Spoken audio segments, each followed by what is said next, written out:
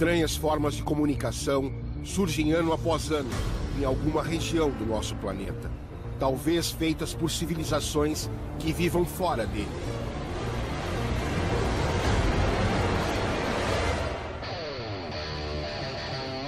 Meu nome é Fred Moss, terráqueo, brasileiro e mochileiro ufológico. Eu e minha equipe vamos em busca de diferentes fenômenos extraterrestres.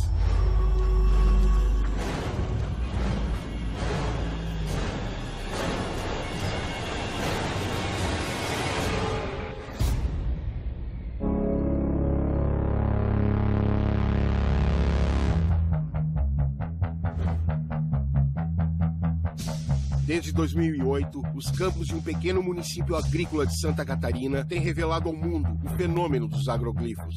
Seriam esses símbolos misteriosos mensagens enviadas por extraterrestres?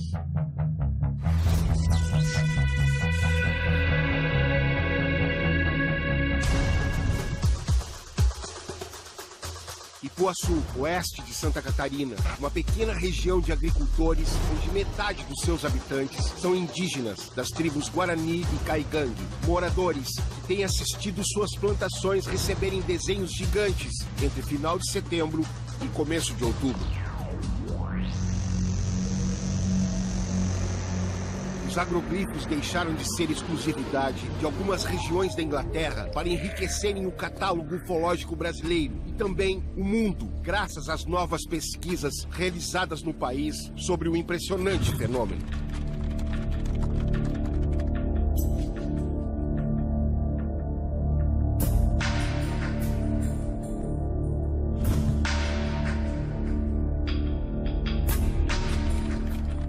Fenômeno começou há cerca de 50 anos atrás, na Inglaterra.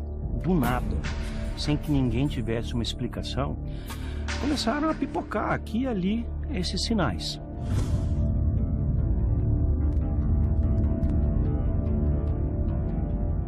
E eles foram aumentando em quantidade. E, aliás, dentro da Inglaterra, era só no sudoeste.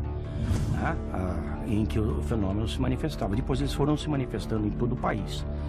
E daí atravessaram as fronteiras da Inglaterra e foram para outros países, para quase toda a Europa. Mas esse fenômeno se desenvolveu por pelo menos 40 anos sem nunca ter acontecido no Brasil. O que é uma coisa incompreensível, porque se você vir a literatura ufológica mundial, você vai observar que o Brasil contribuiu com praticamente tudo, em todos os segmentos da ufologia. Então, ninguém conseguia entender por que, que esses agroglifos não aconteciam no Brasil. Até que num belo dia, no começo de novembro de 2008, pá!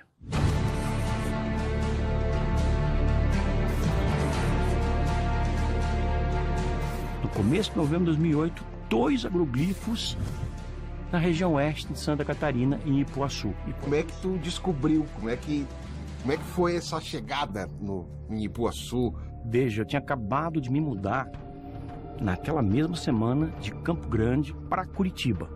Se eu tivesse em Campo Grande, eu não poderia ter investigado, porque eu estaria a 1.400 quilômetros. Mas em Curitiba, eu cheguei na sexta, no domingo o fenômeno aconteceu aqui, eu recebi a informação de um jornalista. Sim. Ele falou: Olha, surgiram agroglifos aqui em Puaçu. Onde é Puaçu? Oeste Santa Catarina. Bom, manda as fotos. Ele me mandou as fotos. Quando eu olhei, falei: Nossa, o fenômeno chegou ao Brasil.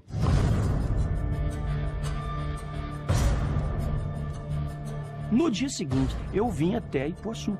Não sabia onde era, nunca tinha estado por aqui, mas vim e verifiquei em loco os dois agroglifos, em duas plantações locais. Na hora, eu já falei para quem me perguntou: isso é autêntico. Uma comissão de pesquisadores em todas as frentes se uniu para decifrar os símbolos nos campos do sul do país. Dentro da ufologia, né, a maioria dos casos são relatos de avistamento de luzes, são contatos, pessoas que dizem ter sido abduzidas, né? Mas são relatos e experiências que a gente não pode vivenciar, não pode ter o contato, né? A gente tem que confiar na pessoa. E no caso do agroglifo, não, né? Tu pode ir lá no local, a figura permanece na plantação depois que foi feita. É algo que a gente pode constatar, que a gente não precisa somente estar dependendo da opinião de pessoas. Nós temos equipamentos, levamos a campo os equipamentos para comprovar né, esse fenômeno que está acontecendo. Então, em 2013, uh, ah, o primeiro agro agroglifo que a gente viu, ele foi próximo à casa do seu Valdemar Visoli. Era um agroglifo composto por 13 espirais que terminavam em uma forma de ampulheta, semelhante a isso. O agroglifo tinha mais de 60 metros de diâmetro e muito próximo da cidade.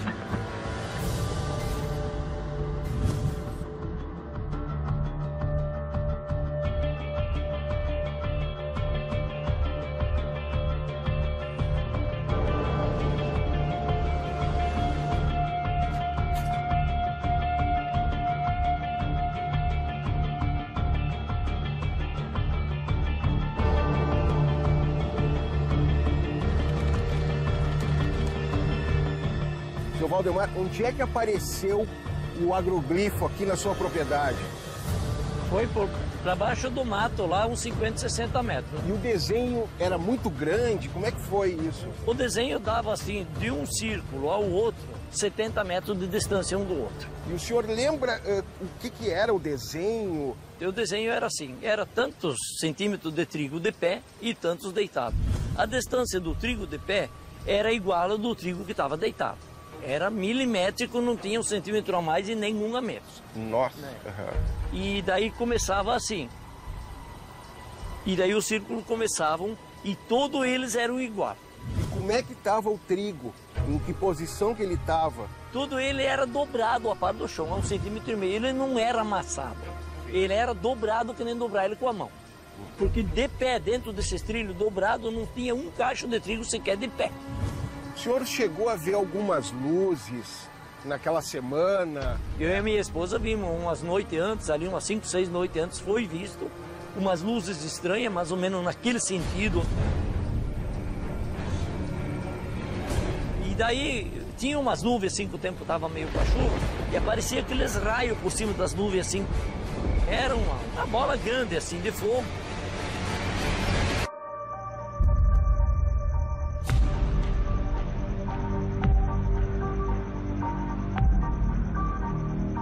Um enigma do universo? Um diálogo físico do planeta com seus habitantes? Uma manifestação meramente humana? Ou um contato extraterrestre enviado em partes que se conectam, feito por luzes de uma tecnologia que nós não conhecemos?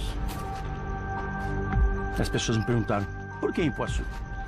Quer dizer, não existe uma explicação, então, por que está acontecendo aqui nesse local? Pelo menos que nós saibamos. Sim. Agora, no ano seguinte, onde é que o fenômeno se manifestou de novo? Em Ipuaçu. E assim foi, foi por 10 anos. Quer dizer, quando eu falo Ipuaçu, eu falo no entorno de Ipuaçu, assim, vamos dizer um raio de 20 quilômetros. Eu vinha todos estes casos na hora que eu ia, eu era avisado.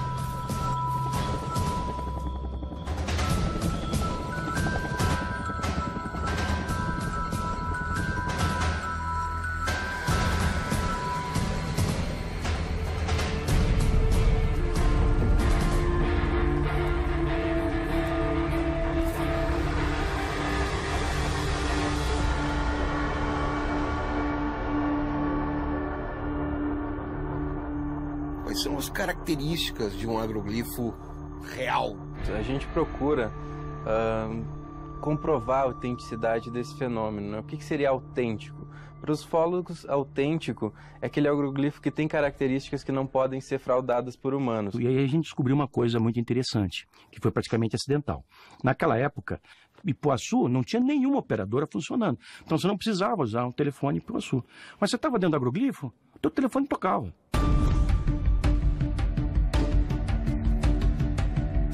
Eu conversei sobre isso aí com os amigos, os pesquisadores de círculos da Inglaterra, eles são chamados de circólogos, certo. que não são necessariamente ufólogos.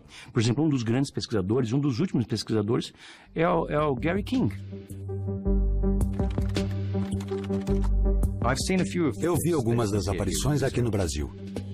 Eu prestei mais atenção no ano passado, quando conheci o Jevaé, e ele me explicou que tinha visitado um agroglifo um com seis pontas.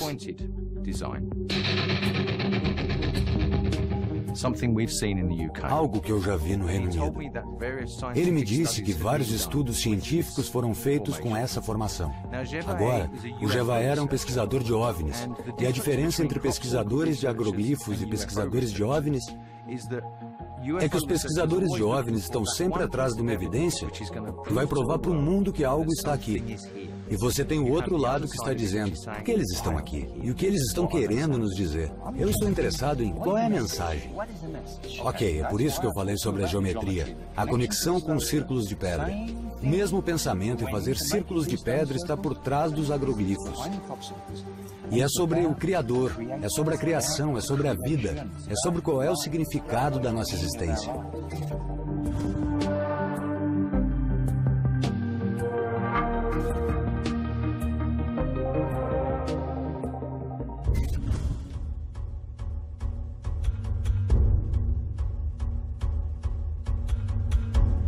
Quando eu falei sobre isso com os psicólogos ingleses, ele falou: Nossa, a gente nunca viu esse fenômeno aqui dos telefones.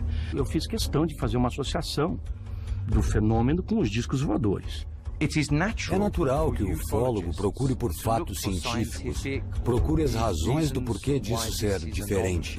Algumas plantas foram coletadas em Prudentópolis e levadas para análise. Fizemos a coleta de material de terra e de plantas de várias posições dentro do agroglifo e fora do agroglifo. E na análise de laboratório, foi comprovado que nessas plantas de dentro da figura, a vida microbiótica dali não se reproduzia. As plantas estavam totalmente esterilizadas. Isso foi constatado somente aqui no Brasil. E o que mais que tu descobriu diferente deles lá? Ou que eles não pesquisaram?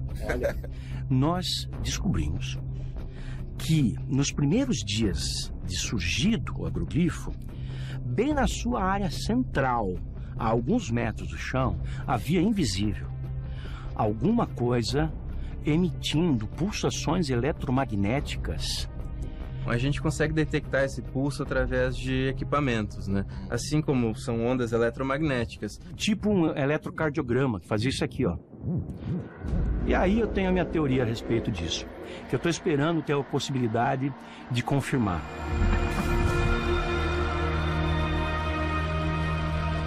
Os primeiros casos aconteceram quando nós aumentamos o nosso trabalho de busca por outras inteligências extraterrestres. O projeto 7.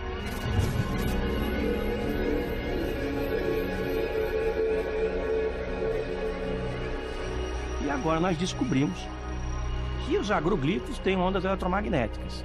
E se essa for a resposta do projeto 7? E se isso já está acontecendo desde os dos anos 70, quando os primeiros agroglifos surgiram, e nós nunca tivemos essa informação, fomos descobrir isso em 2016.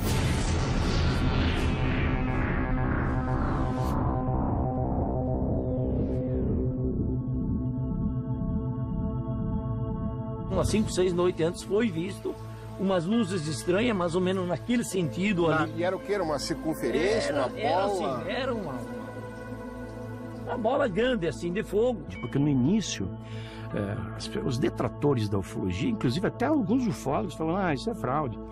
É impossível desenhar um círculo perfeito mesmo no papel. Você tem que colocar seu compasso no papel para isso.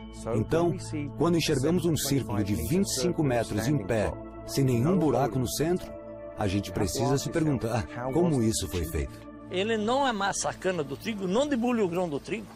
E o trigo ele não é deitado, empurrado, ele é dobrado. Ele é Sim. é dobradinho a um centímetro e meio do chão, todo ele é dobradinho, que nem fosse dobrar com a mão.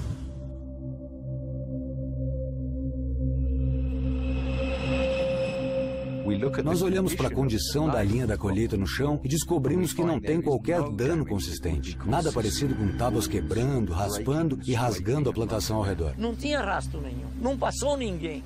Eu sou o que mora mais perto ali e não, não tem mais rua que segue para ir lá. Nós conversamos com pessoas próximas, né, casas próximas, e os relatos são os mesmos, né? Não vimos nada, não vimos ninguém de diferente, somente está aí a figura e a gente não sabe explicar. Chegaram a dizer que eu fazia os agroglifos? Sim. Porra, eu fazia os agroglifos? Chegou um senhor aí e me disse assim, não, isso foram vocês que fizeram. Aí eu disse para ele, olha, o negócio é o seguinte, eu jogo meu sítio contra a sua caminhonete. Agora, se o senhor errar 20 centímetros, o senhor perde a aposta dele, não quis apostar comigo. sim, sim. As pessoas podem entrar em campos de cultivo, fazer moldes com tábuas e fazer os desenhos. Os fazedores de ciclo, né? os, os circle makers, mas eles também não fazem com as qualidades, com as características de um agroglifo. Faz até muito bem, mas é a mesma coisa que você ter dois quadros da Mona Lisa na parede. Um especialista, ele olha e te fala: esse aqui é verdadeiro por causa disso, disso, disso, disso.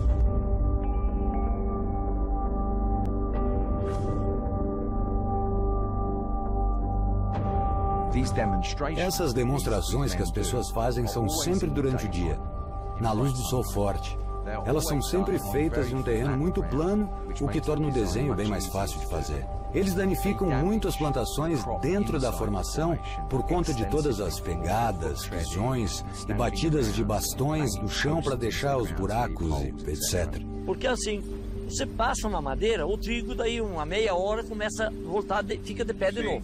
E, a, e as paredes do trigo, como ele é, ele é feito ali no, no desenho, as paredes do trigo ficam de pé. E quando eu fiz com a madeira, ele empurra o trigo para fora. Sim. O trigo fica com uma, uma inclinação. A maioria dos agroglifos que vimos ou que já aconteceram, são cerca de 7 mil atualmente todo mundo, aparecem da noite para o dia, um período relativamente curto da escuridão. Na Inglaterra, no alto do verão, nós temos só 5 horas de escuridão e sabemos que a maioria dos agroglifos aparecem justamente nesse curto período de tempo. Eu tive o privilégio de ver uma formação surgir no raiar do dia. Quando eu levantei, era mais ou menos umas sete horas por aí, o desenho estava pronto. Mas alguém disse que às seis horas não tinha nada e às seis e meia alguém viu que já estava feito.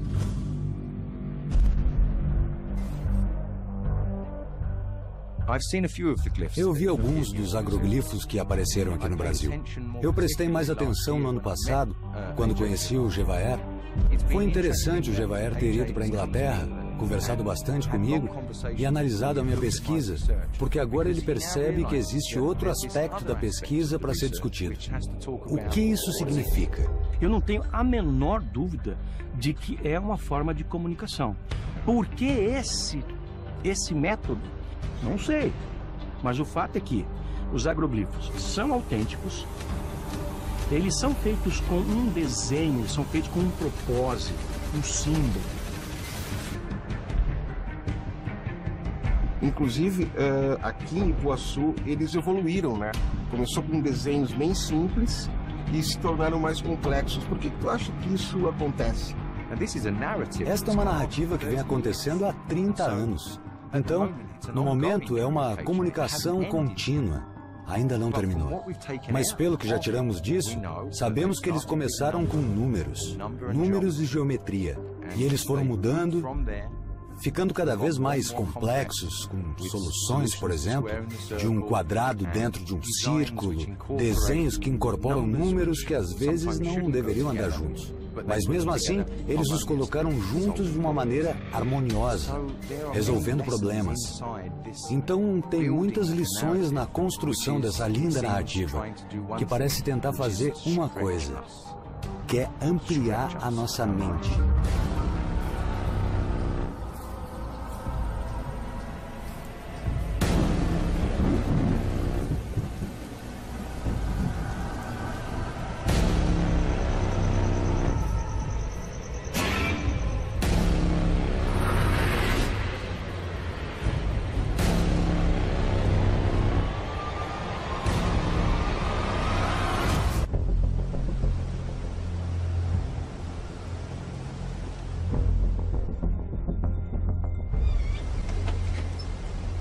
Prenúncio de um agroglifo podem ser as luzes em uma plantação. E o avistamento de luzes depende de alguém preparado para esperá-las.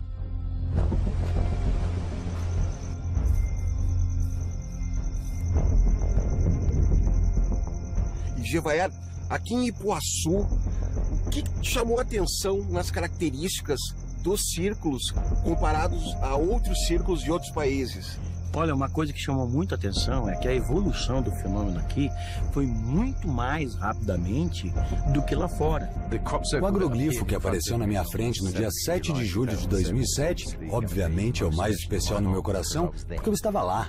E ser uma testemunha de algo que é milagroso, que aconteceu na sua frente, vai acabar recebendo maior destaque do que qualquer outro milagre. Como é que era essa busca pelos círculos lá na Inglaterra? Quando é época dos círculos, você tem que estar de prontidão, né? Porque, embora durante o dia você pode não ver o campo, você pode ver as luzes. E as luzes são um elemento muito forte a favor da ligação do fenômeno dos agroglíficos com as naves.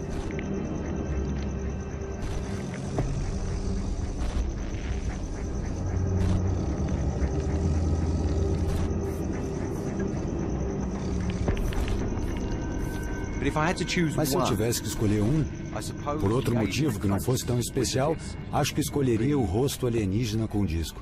Seria um bom exemplo de algo que é muito importante nessa área por muitos fatores.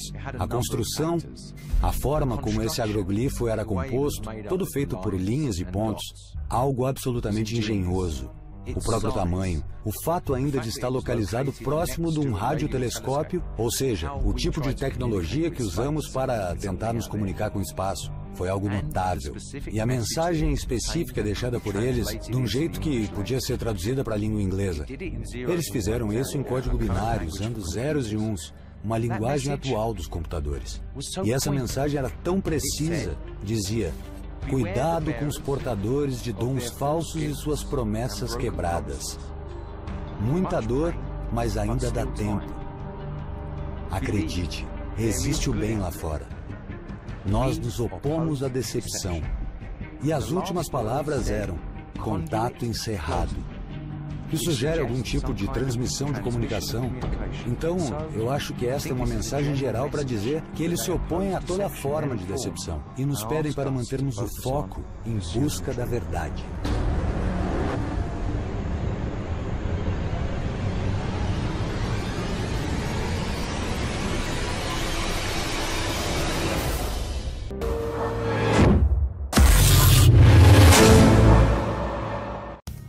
Inscreva-se no canal do History no YouTube e acompanhe todas as novidades da série De Carona com OVNIs.